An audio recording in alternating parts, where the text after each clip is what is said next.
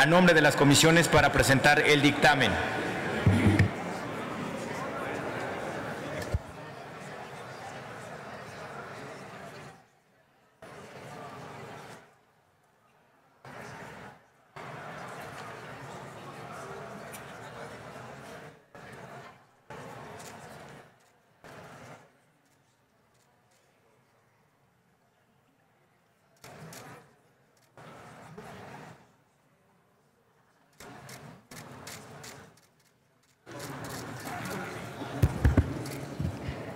Muchas gracias, senador presidente.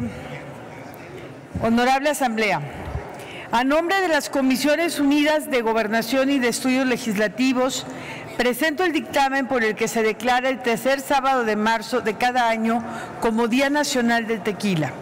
Los integrantes de estas comisiones unidas coincidimos con el objetivo de reconocer la importancia del sector tequilero como símbolo nacional que nos distingue como mexicanos.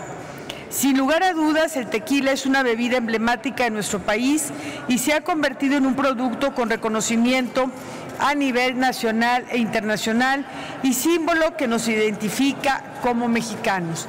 Es una industria exportadora, es una gran industria que genera empleos a muchos connacionales.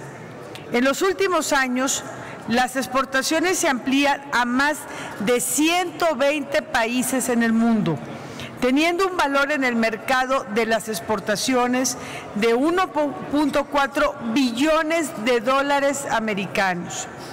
De acuerdo con cifras emitidas por la Cámara Nacional de la Industria Tequilera, observamos que la exportación total del tequila ha aumentado en 8.2%, pasando de un total de 197.9 millones de litros anuales, lo que deriva en la generación de empleos y mejoramiento del desarrollo de la economía en el país.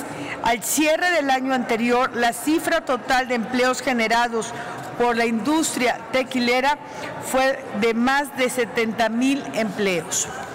En atención a lo anterior, los integrantes de las comisiones dictaminadoras coincidimos en la importancia que el Estado mexicano fomente y permita un escenario más adecuado, así como implementar acciones de promoción para lograr que este producto distintivo de nuestro país continúe siendo un elemento de difusión de nuestra cultura y un reflejo de la calidad con lo que cuenta la industria nacional. Nos sentimos muy orgullosos de este sector, de esta industria que pone en relieve el nombre de México en más de 192 países. Por su atención, muchas gracias.